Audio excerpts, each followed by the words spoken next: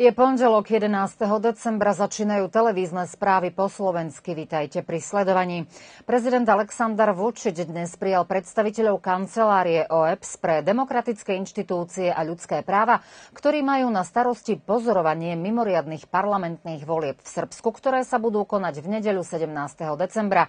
Pri tej príležitosti prezident vyhlásil, že Srbsko tak, ako aj doteraz, je zaviazané zlepšiť volebný proces, aby všetko prebehlo konštruktívne, čo najefektívnejšie a bez komplikácií. Rozhovor s predstaviteľmi zhodnotil ako veľmi dobrý a dodal, že Srbsko postupuje v súlade s úsilím, ktoré smeruje k celkovej demokratizácii spoločnosti v rámci zákona a pri rešpektovaní prevzatých záväzkov. Ako uzavrel, očakáva, že voľby voľby prebehnú fér v demokratických podmienkach a že hlas národa ukáže jasnú cestu Srbska. Minister vnútra Bratislav Gašič navštívil dnes zrekonštruovanú budovu policajného zboru v Subotici a uviedol, že ministerstvo vnútra bude naďalej investovať do vybavenia, aby mali policajti čo najlepšie podmienky na prácu.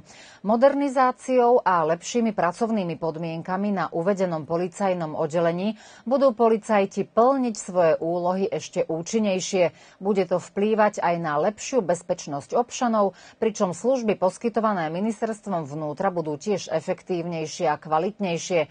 Počas návštevy minister spolu s asistentom policajného riaditeľa generálom Dejanom Lukovičom hovorili s vedúcimi policajného oddelenia v Subotici o situácii v súvislosti s nelegálnymi migrantami a o zvýšených aktivitách polície v boji proti pašovaniu ľudí.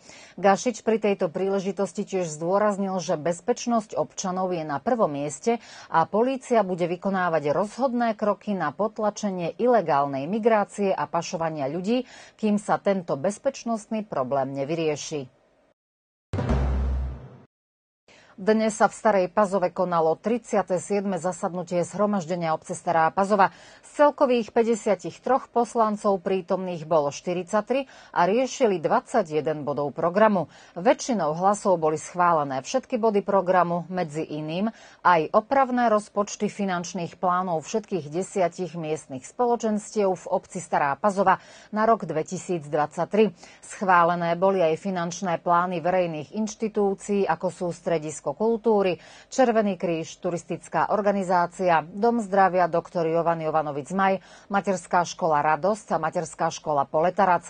Odhlasovaný bol aj začiatok likvidačnej bilancie verejného podniku Obecná bytová agentúra Stará Pazova a vymenovaný bol nový predseda a člen správneho výboru turistickej organizácie Stará Pazova.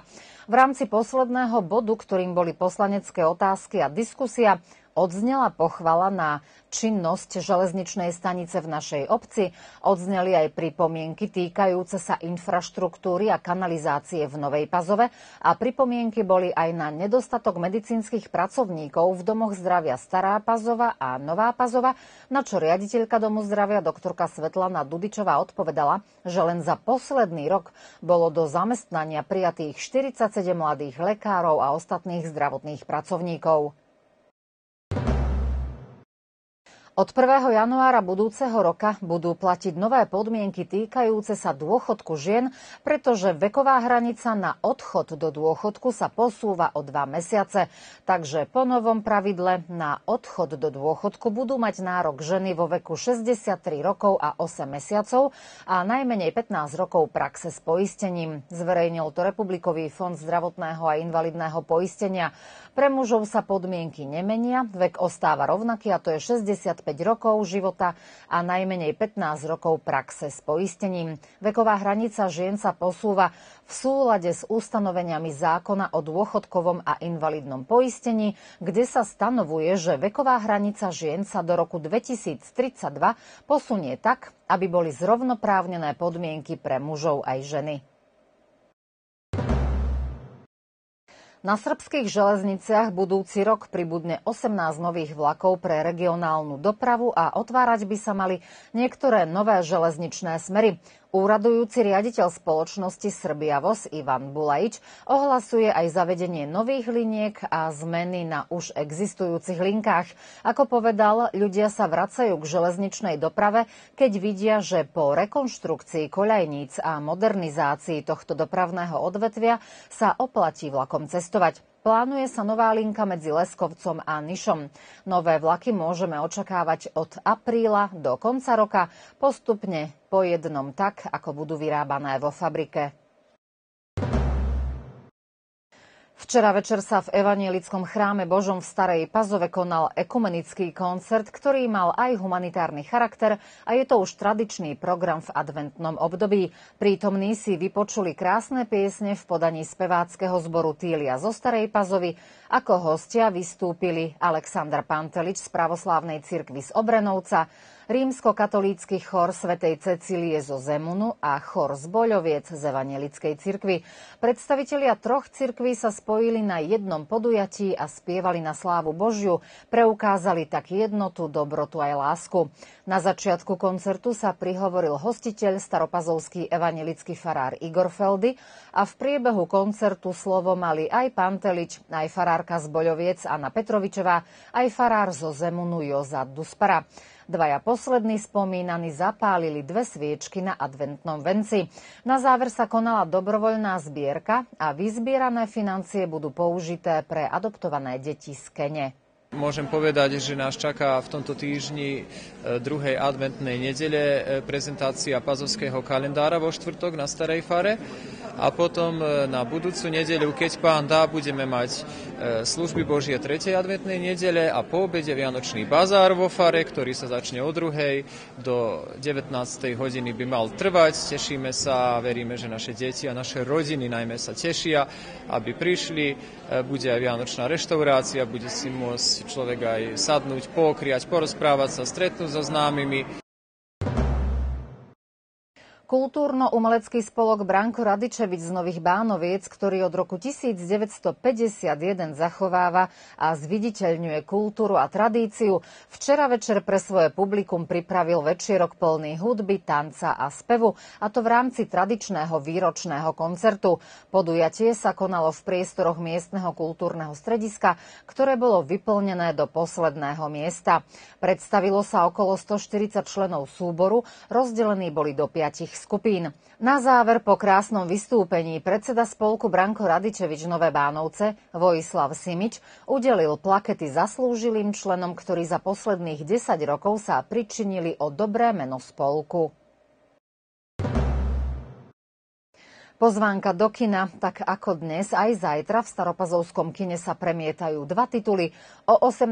hodine je to 93-minútová animovaná komédia o kačacích nezbedníctvách Pačia posla. O 20. hodine americký 107-minútový nový horor Crný petak. Vstupné do kina je 350 dinárov. Volejbalistky jednoty získali na svoje konto ďalšie víťazstvo, tentoraz v rámci 10. kola Banka Poštanská Šterionica Superligy Srbska. V sobotu v obecnom derby boli lepšie ako súperky z Omladinca Nové Bánovce a výsledok 3-1 v prospech jednoty po setoch 16-25, 14-25, 25-23 a 19-25. Staropazovčanky od začiatku sezóny v tejto súťaži obsadzujú prvé miesto, majú maximálny počet výhier 10 a o stupienok nižšie je Tent z Obrenovca s 9 bodmi. V ďalšom 11. kole sa jednota na domácom teréne stretne s Partizánom FBet a Omladinac bude hostovať v Lajkovci, kde ich privítajú železničiarky.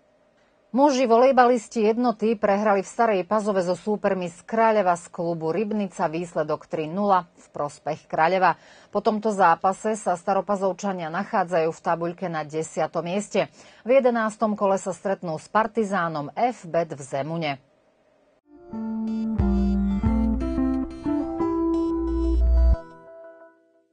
V týchto dňoch teploty vyskočili nad nulu. Zajtra bude od 6 po 12 stupňov, čo je na toto obdobie naozaj dosť teplo. Bude polooblačno, prevaha oblakov slnka najviac do obeda.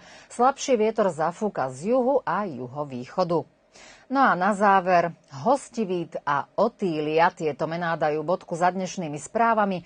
Hostivít má vo Vojvodine meniny dnes a zajtra 12. decembra je v kalendári Otília. Pondelkové správy končia v rovnakom čase. Dovidenia zajtra.